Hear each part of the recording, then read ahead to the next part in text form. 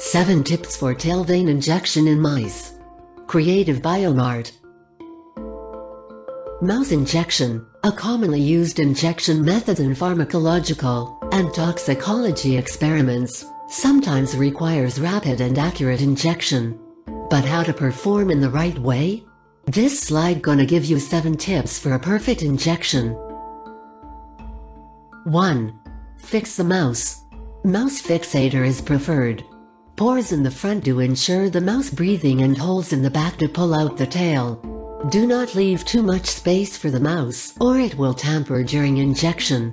Add some filler if the space is too large. 2. Preparation of tail vein.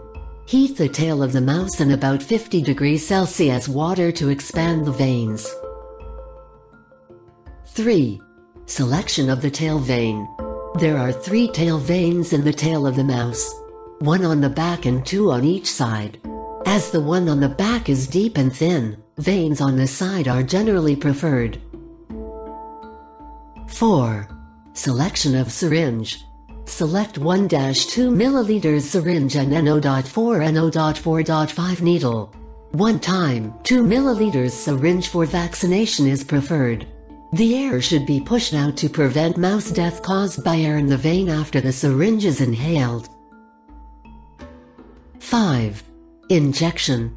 Disinfect the tail with 75% alcohol. Inject in the one-third to one-half of the distal tail, where the skin is thin and the blood vessels are clear. And once failed, you can have more near choices.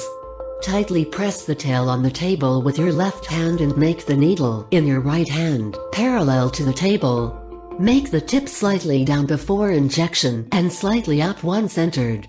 If the needle advances in the blood vessels, you can feel there's no resistance. If not, you can feel the needle does not advance smoothly. Keep in mind, do not inject too deep at first. Put the needle slightly upward once the needle is injected into the skin. 6. Characteristics of successful injection. The difference between liquid injection into the vein and non-venous, there's almost no resistance to push the fluid and it can be quickly finished. Usually 600 L can be pushed in 10 seconds. If injected in non-venous area, there would be greater resistance and there will be a dew-like exudate around the injection site.